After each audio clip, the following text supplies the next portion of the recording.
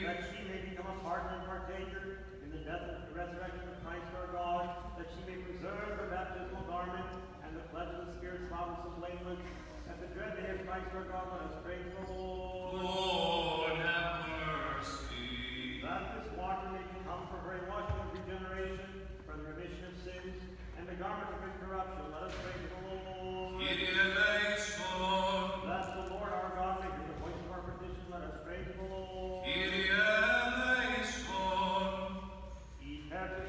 Aqui.